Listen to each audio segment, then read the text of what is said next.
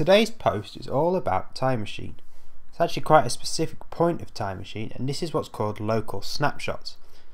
Within the Time Machine dialog window here, there's a, a setting that says local snapshots at as space permits. I'll say that again, local snapshots as space permits. Now what this means is your Mac is actually backing itself up to itself. That's because if you've put Time Machine on an external hard drive or something and it's not available, it'll still create a mini backup.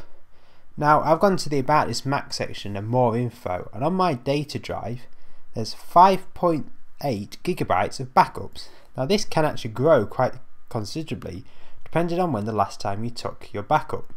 Now if I go to go go to folder and type in volumes forward slash mobile backups this is the folder that's responsible for these backups.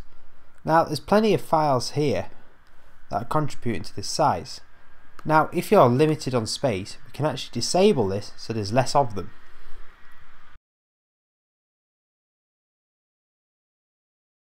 Time Machine options here doesn't actually allow us to disable these local backups. However if you've got a small hard drive or you're running out of space and you don't want them you can actually disable them. Although Time Machine will delete files as space permits as it says on the line, we can actually disable them completely so they don't actually take up any space.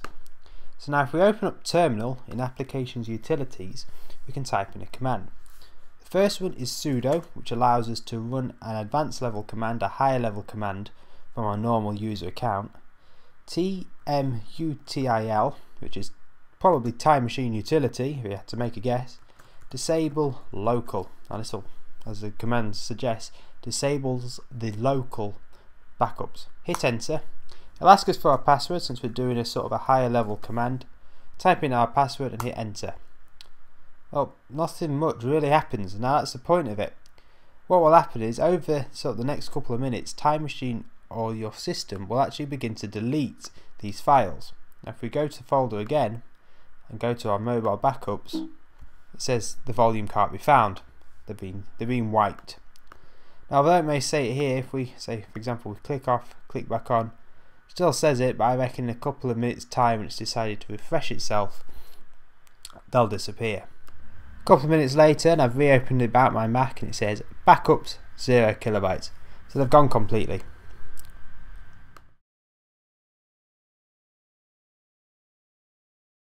Okay, what happens if we want to re-enable, them? We've decided we want to re-enable local backups because we want a local copy?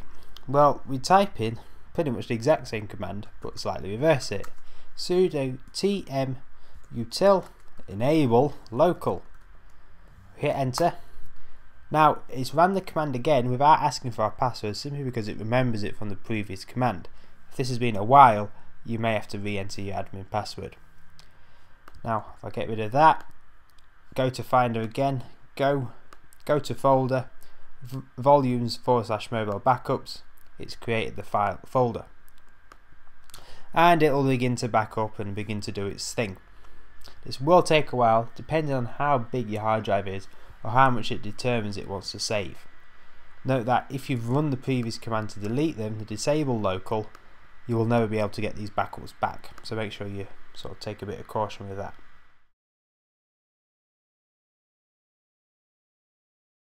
Let's say we want to create a backup right now, this minute, because you maybe want to do something or you're about to close your Mac or something. But you can actually do this within Terminal. We're going to write the tmutil command, time machine utility, and write snapshot. Hit enter, and what it'll do is it'll tell the sort of the background task to create a snapshot. Now it may take some time to get going, but you'll notice within the volumes backup mobile backup section that a new file will enter. Now I've probably got nothing to back up at the moment, so it's not actually changed anything. But if you use this command, it will create a new snapshot. Now if you've got your time machine plugged in, it will actually create a local a backup to that time machine disk rather than just a local snapshot. If you have enjoyed this video, subscribe now.